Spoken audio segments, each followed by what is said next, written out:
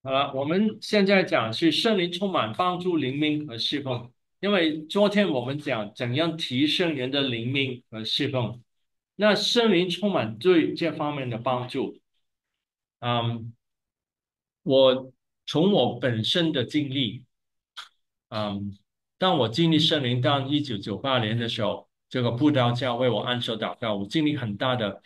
很大的能力进入我的里面，很大的爱充满我的心。我感动到非非常强烈的程度，然后我就我就说，我从来不知道可以这样经历神，然后我就用很多时间祷告，就越来越进入神的同在。后来有一次聚会，我经历喜乐啊，在聚会中经历喜乐，我就竭力的保守，我在聚会中不停的。爱慕神，当时已经学习到怎样用心灵爱慕神，可以经历圣灵。当时就投入的爱慕神。当我投入的爱慕神的时候，这个喜乐就停留。我当天晚上啊，保持，然后啊，在路上，在公车上也不停的爱慕神，但我没有笑出来，但里面涌流喜乐。回到家中已经很晚了，我还是。停留在神的同在很长的时间，明天早上也是这样。我是很想保持这个喜乐，啊，就保持到现在，对我的侍奉是极大的帮助。我之前帮助人的时候都是啊用圣经，我现在也是用圣经，但当时但是用圣经的话，我发觉这个改变不大。我之前带领，曾经带领很多人信主，但。很难带领人生灵命很大的改变，也很难带领人进入侍奉。我我发觉在没有圣灵充满的状态，帮助人进入侍奉是少数。但现在帮助人进入圣灵的时候，更多人看到圣灵的能力，看到他们可以有圣灵的能力，他们就更愿意侍奉神。就好像这个姐妹。在传统的教会，他不能做很多侍奉的，因为他啊啊，他的强项，他的恩赐是祷告啊，关心人，他的恩赐不是教导。到现在为止啊，可能将来会改变的。嗯。但啊，如果在传统教会，就说啊，你教导没有教导的恩赐啊，你可以做的侍奉就是啊，搬台椅、台子。椅子啊，帮助啊杂物，但在圣灵充满之后，他为了祷告，很多人经历圣灵，这个以前是没有的。而且，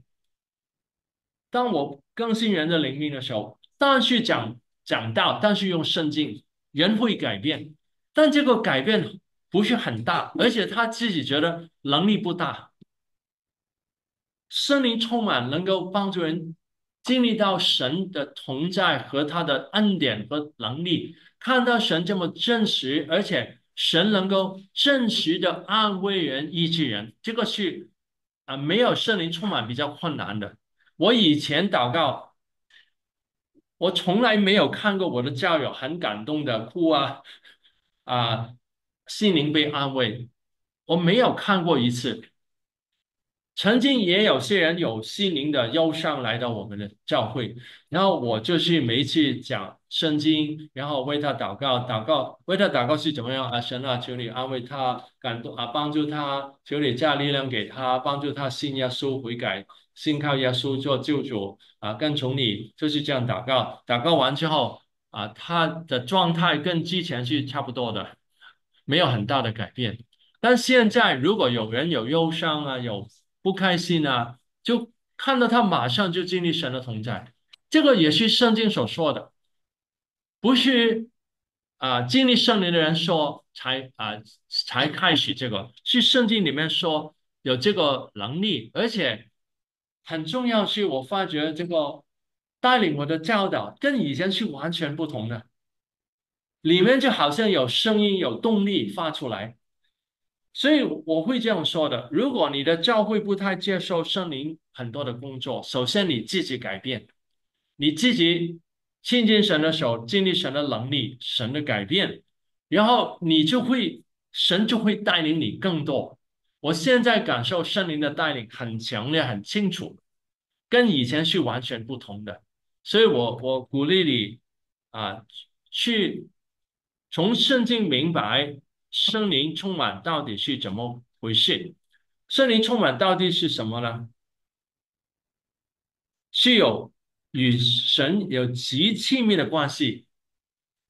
这是我以前没有的，随时随地可以经历神的平安、喜乐、爱，这个啊，随时可以经历到的，啊，也帮助我追求圣洁，啊，我以前是没有这个动力去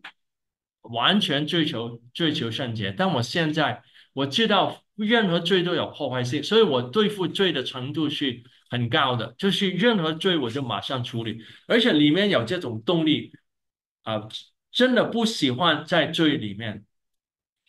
然后在祷告时候可以经历神的随。